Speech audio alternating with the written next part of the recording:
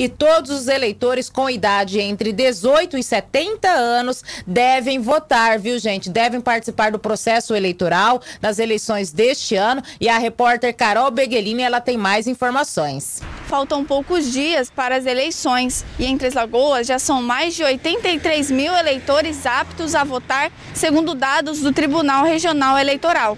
E para evitar aglomerações durante o período de pandemia, a Justiça Eleitoral orienta que a justificativa seja feita pela internet através do aplicativo e-Título. Você pode realizar a justificativa através do app e-Título, que das 7 às 17 horas do dia da eleição funcionará como uma mesa receptora de justificativa.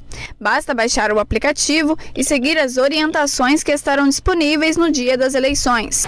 E vale reforçar que no dia da eleição é obrigatório o uso de máscaras e proibido aglomerações. É o grupo RCN de Comunicação na cobertura das eleições 2020.